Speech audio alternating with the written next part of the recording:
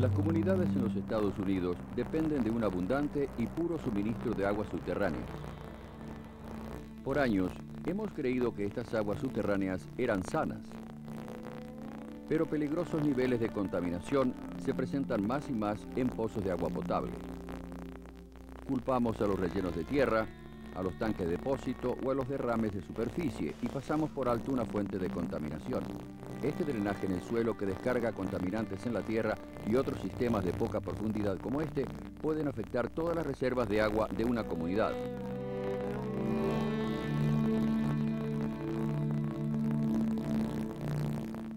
La mayoría de las compañías que fabrican un producto o proveen un servicio usan químicos industriales y generan desperdicios tóxicos. Y a veces usan un drenaje en el piso, un sistema séptico o alcantarillas para deshacerse de derrames de químicos y desperdicios procesados. El problema con los sistemas de disposición de poca profundidad es que proveen muy poco o casi ningún tratamiento a productos en el mercado de hoy día, que contienen químicos peligrosos y metales pesados.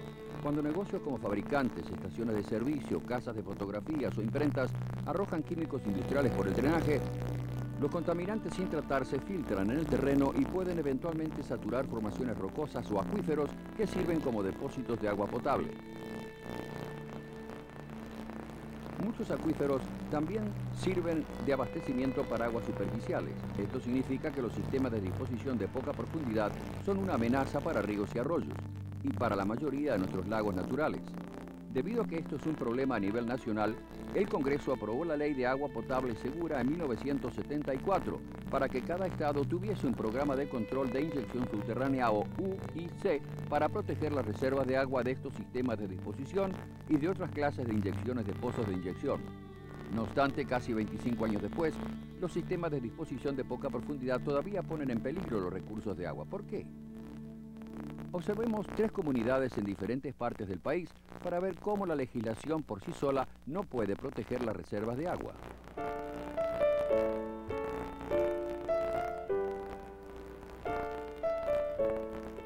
Por muchos años, residentes y negociantes de la comunidad suburbana de Great Falls, Virginia, usaron agua de pozos y sistemas sépticos sin ninguna preocupación. El doctor Albert Lee y su esposa Catherine eligieron Great Falls para construir la casa de sus sueños. Nos mudamos aquí porque queríamos un lugar seguro con ambiente limpio para criar nuestros hijos. Pero luego que se mudaron en pruebas de laboratorio del agua del pozo, se detectaron alto contenido de solventes tóxicos. Usted nunca imaginaría que le pasaba algo al agua. Se ve bien y sabe bien. Me disgusté mucho al leer que el percloretileno es una sustancia tóxica para el hígado y potencialmente carcinógena. Preocupados por la salud de su familia, los Lees usan agua embotellada hasta que estén conectados a un sistema público de agua corriente. Los solventes que contienen percloroetileno y tricloroetileno o PCE y TCE llegan de un sistema séptico ubicado en un centro comercial a unas cuatro cuadras de la casa de los Lee. El centro comercial y gran parte de Great Falls están sobre una formación rocosa fracturada, lo que facilita que el PCE y TCE se filtren hacia las reservas de agua potable. El gobierno local alertó a la comunidad acerca de la contaminación. Tomamos muestras a comienzos de marzo en 15 casas y se encontraron algunos pozos de agua contaminados. EPA, la cual administra el programa UIC de Virginia, entró en acción y comenzó a mostrar pozos en las áreas adyacentes para determinar si otros pozos se habían afectado adversamente. Hasta el momento, el sistema de agua de un club de natación y los pozos de cinco hogares presentan niveles de PCE y TCE que exceden los estándares nacionales de agua potable. El gobierno local y el centro comercial han tomado medidas para proteger a los habitantes de Great Falls de ulterior peligro de contaminación. Pero hay 30.000 sistemas sépticos en el condado en el área de Great Falls. Aguas residuales del comercio y la industria continúan siendo un problema potencial.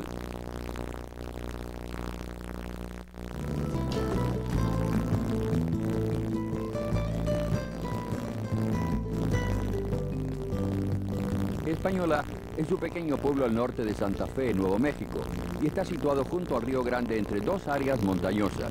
Los pueblos Santa Clara y San Juan rodean a Española por tres lados. Cuando pruebas de laboratorio los pozos de agua de la ciudad indicaron niveles peligrosos de PCE, las autoridades solicitaron la ayuda del Estado. Encontramos PCB en las aguas superficiales y se determinó que provenía de esta lavandería. En la fuente se encontraron concentraciones muy altas. El estándar para el agua potable es de 5 partes por billón y el lugar encontramos niveles de más de 100.000 partes por cada billón. No se necesita mucho para contaminar un acuífero. Los solventes de la tintorería se filtran de este resumidero y actúa como un sistema de disposición de poca profundidad. Española obtiene su agua potable de dos acuíferos ubicados en una formación de arena y piedra separadas por barreras de arcilla. El PCE se filtra a través del área que rodea resumidero hacia el acuífero y entra luego a la segunda a través de grietas en la arcilla. El PCE continúa propagándose sobre una área extensa en el acuífero superior y se ha desplazado ya a menos de una milla del Río Grande. El Estado recientemente incorporó el área a la lista de prioridad del programa de Superfondo y trabaja con la EPA para solucionar el problema. El pueblo identificó 24 usuarios potenciales de químicos tóxicos a menos de mil pies de los pozos afectados. Es realmente significativo que una pequeña planta como esta haya creado un problema gigantesco de contaminación en las aguas superficiales. El costo podría ser de millones de dólares y estos pequeños negocios no podrían pagar por trabajos de limpieza. Tuvimos que cerrar todos nuestros pozos debido a la contaminación. Hoy día estos pozos nos costarían cerca de medio millón de dólares para reemplazarlos. Tuvimos que encontrar fuentes alternas de agua. El costo de pozos nuevos y la limpieza de las superficiales amenazan el progreso económico de la ciudad. La ciudad no puede resolver este problema por sí misma. Es difícil decir dónde fallamos, pero tal vez la ciudad podría hacer cumplir las ordenanzas mejor que en el pasado. Creo que necesitamos tener más control sobre el crecimiento del área y la clase de negocios que se establecen cerca de los pozos de agua potable. El programa de protección de áreas inmediatas de pozos de agua potable ha comenzado a funcionar. El propósito de este letrero es ayudar a educar al público de lo que es realmente la protección de áreas de pozos de agua potable. EPA, el gobierno del estado y el local trabajan para encontrar la forma de que PCE y TCE no lleguen al Río Grande, del cual dependen los pueblos. Estamos muy acostumbrados a esta forma de vida y la naturaleza pristina del río.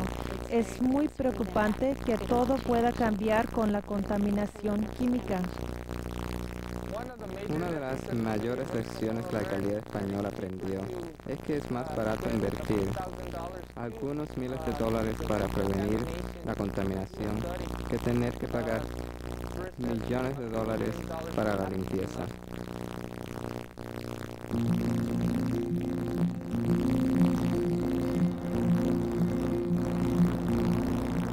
En Missoula, Montana, la historia de la contaminación de las aguas subterráneas y los sistemas de disposición de poca profundidad ha resultado diferente. Bienvenidos a Missoula. Somos un pueblo de unas 60.000 personas en el área urbana. Es un pueblo que ha estado muy interesado en los recursos de agua y recientemente ha estado muy activo protegiendo esos recursos. La ciudad está ubicada sobre el acuífero del Missoula, el cual es su única fuente de agua potable. El acuífero es aproximadamente de unos 150 pies de espesor. Forma el fondo del valle de aquí, del valle de Missoula, y está hecho mayormente de piedras redondas y guijarros, que le hace muy vulnerable a la contaminación. Missoula se dio cuenta cuán vulnerable era su acuífero cuando aparecieron químicos peligrosos en los pozos de agua potable del pueblo. Mountain Water, la compañía de agua de Missoula, se vio forzada a cerrar tres de sus pozos. EPA, que administra el programa UIC en Montana, ayudó al Departamento de Salud de Missoula a identificar sistemas de disposición de poca profundidad como causa de la contaminación. Quisimos asegurarnos de cubrir el 100% de los negocios, de manera que consultamos la guía telefónica, hicimos lista de diferentes negocios como talleres mecánicos, compañías de camiones y así por el estilo. Entonces dimos otro paso. Tomamos fotografías e hicimos un rastreo aéreo.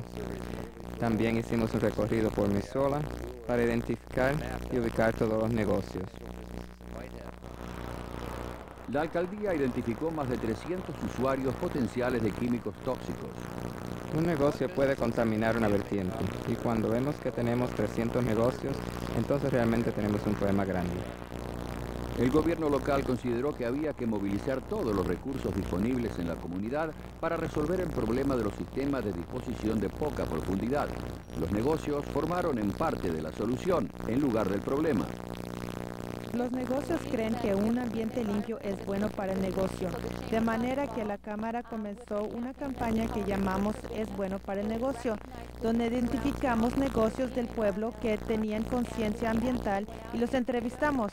Salieron en la tele para que la comunidad supiese lo que hacían para proteger el medio ambiente. Negocios y dependencias municipales que usaban químicos tóxicos sellaron los desagües y pasaron a operar en seco, o redujeron o eliminaron los desperdicios de agua mediante el uso de tanques de retención, o pasaron a usar métodos de disposición seguros para el medio ambiente. Tenemos una responsabilidad como personas de negocios debido al agua. Se nos dice que el agua aquí es única y de verdad lo creemos. El reciclaje que se constituyó se ha convertido en un negocio fructífero. Desde que la gente se dio cuenta del problema del agua, nuestro negocio ha crecido. Más gente recicla ahora el aceite. Aquí están llegando algunos de mis camiones. Han estado recogiendo los concesionarios de Missoula. Contiene 2.000 galones de aceite usado y va a parar allí en la estación para descargar. Las instalaciones gubernamentales tienen también que corregir el problema. Algunos motores pierden aceite y gotean en el suelo, y ese aceite se mezcla con el agua de lavar vehículos y entonces se va por el drenaje. Lo que hicimos fue un programa con un tanque de retención donde van a descargar todos los drenajes del piso. Missoula también integró la disposición de aguas residuales comerciales e industriales con el programa de control de residuos sólidos. En lugar de simplemente echar el agua usada de lavado o agua de talleres en un drenaje. Ahora la atrapan ya sea en el fluvial o la vierten en un tanque y luego la vacían. La alcaldía ha cooperado en el uso de sus secadoras de aguas negras en la planta de purificación para secar estos desperdicios y entonces la alcaldía la envía a nosotros. Y el costo total ha sido mínimo comparado con lo que la gente creía que iba a costar. El Consejo Municipal hizo cumplir reglamentos locales para restringir el uso de tierra sobre depósitos de agua y extender el sistema de alcantarillado en el distrito comercial. Parte del esfuerzo relacionado con esta área fue tratar de extender la red de alcantarillado y eso da a los negocios una solución viable a largo plazo para usar estos sistemas de disposición de poca profundidad. El Departamento de Salud educó a líderes de la comunidad y a instituciones. Estamos viendo dos modelos que uso en mis presentaciones en las escuelas y para grupos comunitarios.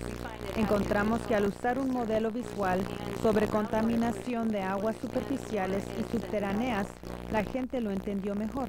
Las estaciones de televisión y los periódicos también participaron. Y logró el apoyo de muchos voluntarios para asegurar el éxito de su programa de prevención. Hoy el agua subterránea de Missoula cumple con los requisitos de EPA de agua potable y todos los pozos de la ciudad están operando y la comunidad se propone mantenerlos de esa manera. Missoula ha logrado esto sin cerrar un solo negocio o asumir una seria carga financiera. Una vez convencidos de que había que proteger la fuente de agua, el resto fue fácil. Nunca es demasiado tarde o temprano para proteger las reservas de agua de la comunidad. Los funcionarios locales en Great Falls, Virginia, Española, Nuevo México y Missoula, en Montana, aprendieron que aún con legislación de protección aprobada, ellos no reconocieron la amenaza verdadera de los sistemas de disposición de poca profundidad. Líderes locales y políticos tienen que pensar en el bien público. Y el bien público es agua limpia, aire limpio. Y si fracasan en evaluarla, si fracasan en remediar la situación, entonces ellos tendrán problemas en el futuro. Tome hoy los pasos necesarios para proteger su agua potable. Llame a la Agencia Federal de Protección Ambiental, EPA, Drinking Water Hotline, 800-426-4791, para el nombre de las agencias federal y estatal bajo las cuales operan los programas Protección de Áreas Inmediatas a Pozos de Agua Potable y Programa de Inyección Subterránea, Wellhead Protection y Underground Injection Control en su estado o territorio.